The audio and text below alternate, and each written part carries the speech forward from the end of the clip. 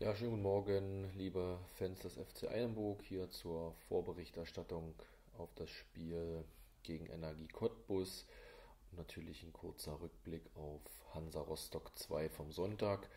Ähm, es sind viele tolle Fragen eingegangen. Ich versuche natürlich alle zu beantworten an der Stelle. Ja, wir hatten einen super ähm, Teamausflug in Anführungsstrichelchen am, am Wochenende gehabt, wo wir die Chance hatten, einfach als Team nochmal näher zu rücken ähm, ja, was Besonderes für uns äh, erleben zu können mit, mit, mit einer Reise nach Rostock, mit einer Übernachtung, gemeinsam Frühstück, Abendessen, alles was dazugehört und dann ja schon einer professionellen Anreise zum Stadion und äh, ja in einem tollen in einem tollen Ostseestadion spielen zu dürfen, ähm, mit einer, wie wir finden, sehr, sehr ordentlichen, sehr guten Leistung, mit einer reifen Leistung, ähm, mit einer Leistung, die einfach äh, für drei Punkte am Ende reichen muss. Und so, so ehrlich muss man sein, der, der Stachel steckte dann schon tief direkt nach dem Spiel, weil du dieses Spiel nicht äh, unentschieden spielen darfst.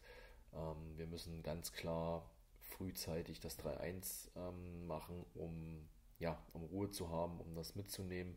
Und auf der anderen Seite müssen wir in der Konsequenz oder an der Konsequenz einfach arbeiten, dass es zum wiederholten Mal in der Nachspielzeit dazu kommt, dass wir da ein Gegentor schlucken. Und ja, das müssen wir uns ankreiden. Ähm, da müssen wir besser werden. Äh, die Köpfe waren sicherlich äh, hängend äh, kurz nach dem Spiel.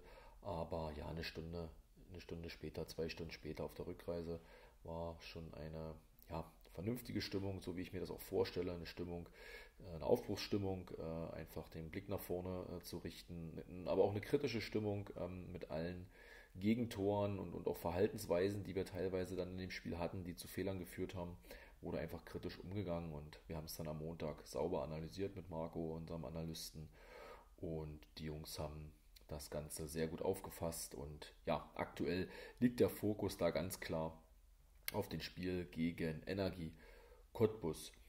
Ähm, ja, die, die Tabelle, wenn man jetzt zum zehnten Spieltag hinblickt, kann man natürlich auch mal langsam erwähnen. Ähm, die ist eng. Ähm, hätte ich jetzt natürlich so nicht erwartet, äh, welche großen Namen da auch aktuell um uns herum äh, schwirren.